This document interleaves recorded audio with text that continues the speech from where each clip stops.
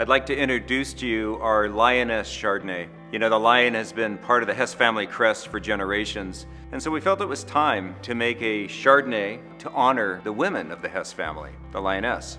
This wine for me is, is a beautiful wine. It's all about texture and flavor.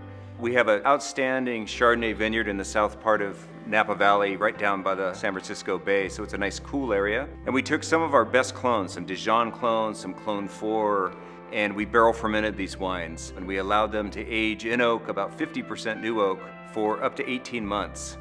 The texture of these wines came from lees stirring. Um, it adds a lot of viscosity and weight.